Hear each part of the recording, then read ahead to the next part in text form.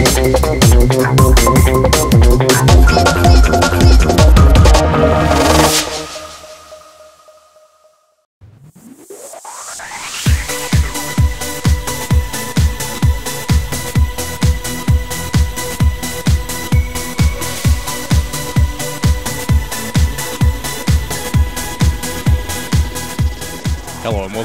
Jack Edwards Reserve. Michael Huguenin calling this NPL Round 8 match between Oakleigh Cannons and Melbourne Knights. Oakleigh, of course, still undefeated after seven rounds here in the NPL Victoria competition. And uh, Ken Marth's men halt their slump. The teams now Melbourne Knights line up Chris May, number one, Sam Torrens, number three, number four, Ben Suri, number five, Milan Batur, number seven, Daniel Vizovic, number six, James McGarry, number 11, Anthony Colosimo, number 13, Anton Kovacic, number 17, Nikola Sobanovsky, number 18, Anthony Juzel, and number 19, Cheyenne Olinajad. And there has been a late change. Sam Torrens, number three, who was set to start the match, is out with a slight hamstring strain. Coming into the starting lineup is number two, Michael Sims.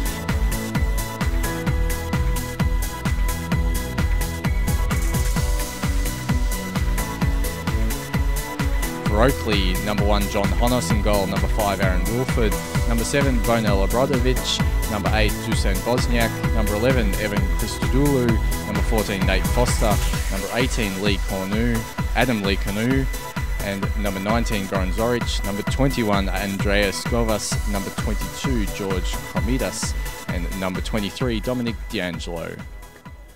So another setback for Torrens, who of course had missed a few matches there with uh, some shoulder problems and has failed to take his place in the starting lineup today. Yet another injury for Melbourne Knights as we get underway here at Jack Edwards. They have been basically cursed by injuries so far, Melbourne Knights. Uh, Jacob Colosimo, Torrens as mentioned, Marian Svitkovic, Kovarubius last week went down with a knee injury, and Chris Talach is the other key player who has been injured so far this season. And they're really down to the bare bones as they take on Oakleigh. And with an early shot there at the back post, it was Anthony Juzel. It was blocked by Oakleigh as they launch a counter attack through Christodoulou and Nate Foster on the left. Foster just gets past his marker, but his touch eludes him and goes out for a goal kick. Chris May to take Kovacic to take the free kick for Knights. Goes long towards the penalty box. McGarry, the target. It's over his head. But a chance for Olinajad. He's in behind now. And it's just a touch there from Honos. McGarry to take the corner. He'll whip it in towards the back post. And it was Sims there. The late call up. Couldn't quite get contact. Ball's played back to Vizovic. Vizovic into Sims. He gives it away. A chance now for Oakleigh to counter attack. It's Zoric on the ball. Not enough space there for him. Now Govas, and he loses possession to McGarry. Quick feet from McGarry. Switches it right to Vizovic. Ball comes back to the left, and it's Juzel. Suri takes over, and now Anthony Colosimo. Suri with a cross. McGarry the target, flick on. Vizovic with the volley, and it's over the bar.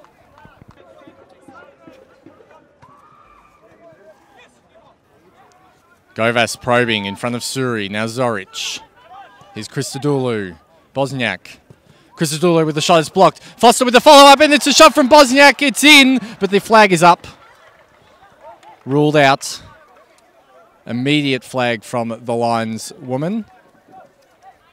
And Knights breathe a sigh of relief. Chances at both ends early in this match.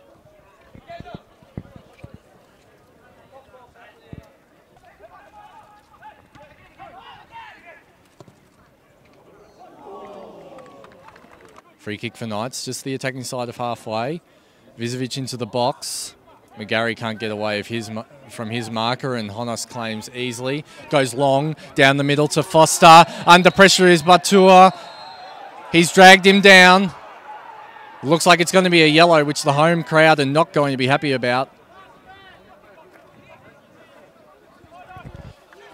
Milan Batur, yellow card early in this first half. Bosniak with the free kick, and it's palmed away by Chris May. Nice save down low to his left.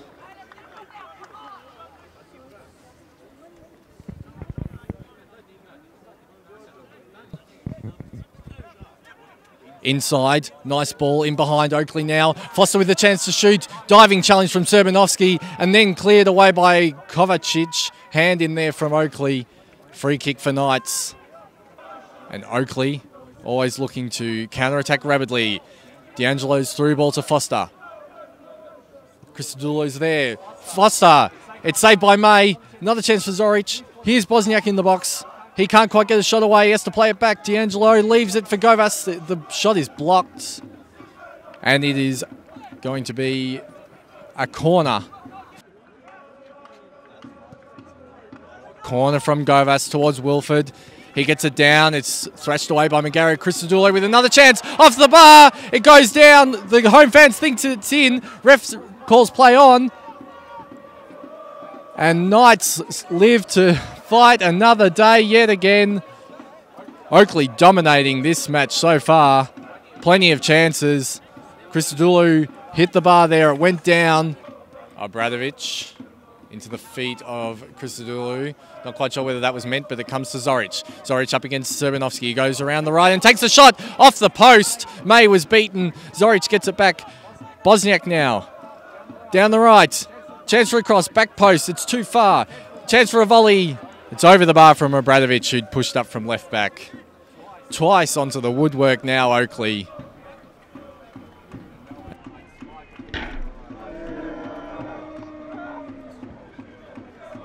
Into the 22nd minute here, and Chris May with the goal kick up towards halfway. The ball's going to come down to Suri into midfield to Sims, who just skips away from D'Angelo and then lifts over the top. Alinajad now with a chance. Crossing towards McGarry, and his volley's just over the bar. Vizovic to take the free kick. Almost like a corner, this free kick. Can get it right in on the penalty spot. Goes towards the near post. And it's loose. Honos isn't there. Batur now. Has it gone across the line? No, it hasn't. And it looks like Oakleigh have survived. Unbelievable there. The ball was on the ground a number of times. John Honos, the goalkeeper for Oakleigh, he was nowhere near it. And eventually, it looks like we're going to have a goal kick for Oakleigh. Cross into the box. It's danger here for Knights. Flicked on by Lecornu. Just came off a Knights player again. And over the bar. Govas has moved away. Bosniak towards the near post. May didn't know much about it, but he makes the save. Block shot by Lecornu. Alinajad tries to get it away. Another chance for a cross from Bosniak. It's too low. Knights could get it away now. McGarry to take the corner. In towards the near post. Suri's there. D'Angelo gets in ahead of him. And now a chance for the counter attack. Nate Foster clear on the right. Colosimo decides to leave him. Ball inside to Zoric. One on one with Chris May. Zoric, his shot is saved.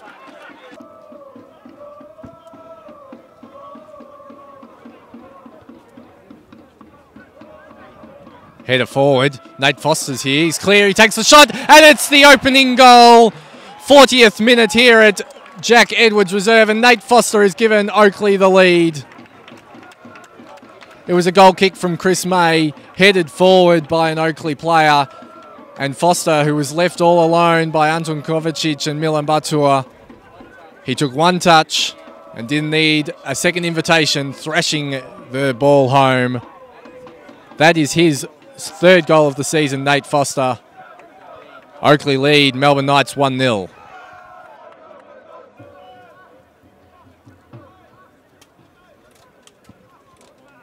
Not long now in the first half. In fact, there is the halftime whistle. And Oakleigh lead 1 0 thanks to a goal in the 40th minute by Nate Foster. Wilford with the free kick towards the left. Bosniak the target. Strong header towards Foster. Foster brings it down with the first touch, but Kovacic got ahead with the second. Now it's Juzel down the line. McGarry. Can he get it in the head now? He gets it on the second attempt.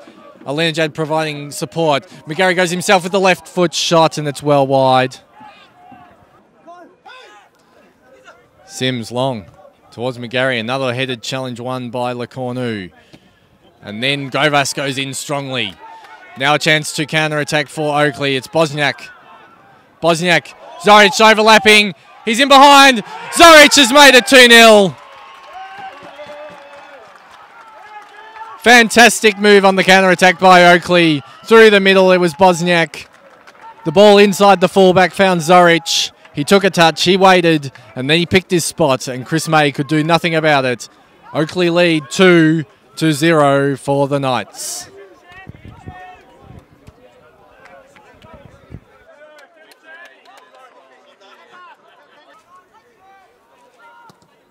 Bradovic towards the penalty spot. It's Christodoulou. He's dragged back. He goes down. He wanted a penalty. None, given. Knights can counter. Sims loses possession. Here's Zoric on the right. Zoric up against Serbanovsky. He goes around the outside. His shot goes towards the back of post. Foster couldn't get the touch. May was beaten. It's going to be Ivan Gergic coming on and Anthony Juzel coming off. Andrew Marth pushing Milan Batua up front. Gergic will slot into central defence alongside Kovacic. Wilford comes out of defence to get a touch and then the switch again back to the left. It's straight to Alinajad, however. And the Knights can attack. Ball in behind. Milan Batua. It's a one-on-one opportunity for the central defender. And he's put Knights back in it. Milan Batua scores. And Melbourne Knights suddenly are back in this match. It is 2 1. Fantastic ball out of midfield from Cheyenne Alinajad. And that is Melbourne Knights' first goal in four games. It's the 66th minute. And Andrew Marth's substitution has paid dividends almost immediately. McGarry gains control of it. Has to turn back to Suri. Vizovic now. McGarry's got space just at the top of the box. He might take a shot now. McGarry over the bar. Batua with the header. He's going to go again, and he does. And Alinajad gets the loose ball. Sims now nods it forward to Batua, and Alinajad is overlapping. Alinajad down the right.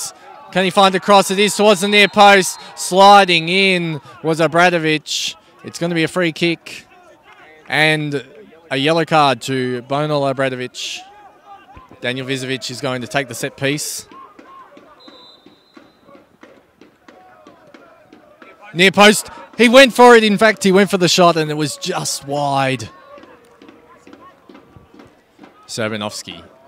Batur back to goal. Flicks it onto Anthony Colosimo. Good work by Batur. Here's McGarry. Alinajad on the right. Chance for a cross. Obradovic blocks it and wins the throw in. Andrew Marth off his bench. He cannot believe it.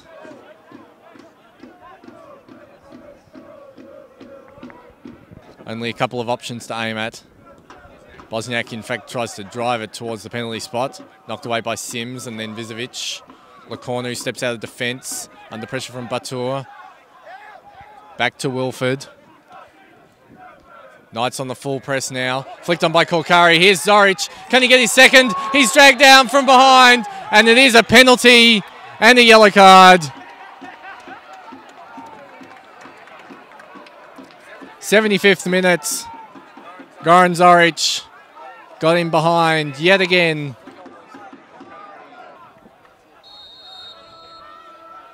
Bosniak converts it. Oakleigh lead 3 1. And you would imagine they're on track now for their third straight win.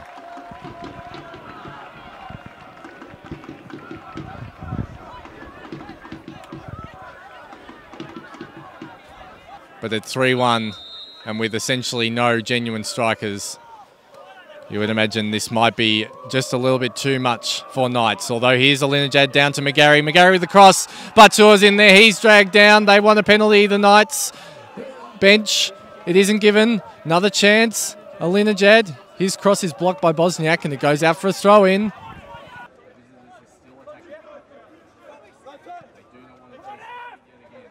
McGarry gets a foot in. That's good work. Vizovic. McGarry goes past Christodoulou. Now a chance for the cross from Sims towards the back post. Anthony Colosimo plays it back to Vizovic with the shot. It's blocked. It goes to Batua. Batua with the shot. Great save on us. He holds it.